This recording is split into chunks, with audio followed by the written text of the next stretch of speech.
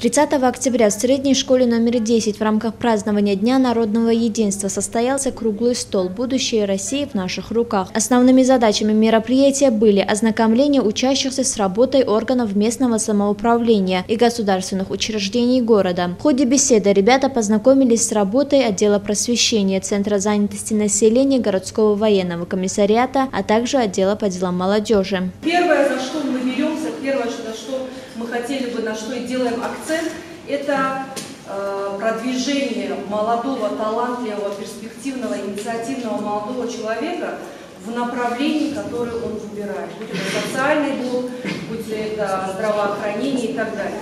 Вы, наверное, все слышали такие вот образовательные форумы, как Машук, Селигет, Таврида и так далее. Такие же ребята, как и вы, вашего возраста, может быть, чуть старше, пишут определенные проекты, которые могут выиграть президентские гранты.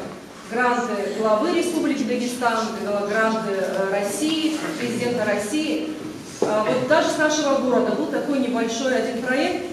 Девочки, две девочки написали грант на э, содержание бездомных собак и кошек. Они хотели построить вольер для содержания бездомных собак и кошек. Вы знаете, они защитили свой проект в Пятигорске на форуме Машук, и им выделили для этого 300 тысяч. В заключении мероприятия были подведены итоги работы. Ребята получили от гостей и представителей государственных учреждений важные напутствия, которые, несомненно, пригодятся им в жизни, отметили организаторы круглого стола. Далее заместитель директора по воспитательной работе вручила ученикам, отличившимся в учебе и общественной жизни учебного заведения, благодарственные письма и грамоты от директора школы. Бурлея Цамбиева, Пермагомед Пермагомедов, информационная программа «Пульс».